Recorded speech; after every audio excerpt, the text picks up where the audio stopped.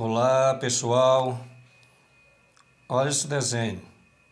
A minha, a minha pequena chegou da escola hoje toda empolgada, que ela tinha desenhado ela e a bonequinha dela brincando na grama.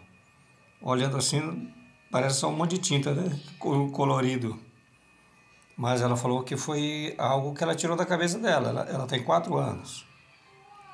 Para algumas pessoas, talvez isso aqui não signifique nada, é só um isopor sujo de tinta.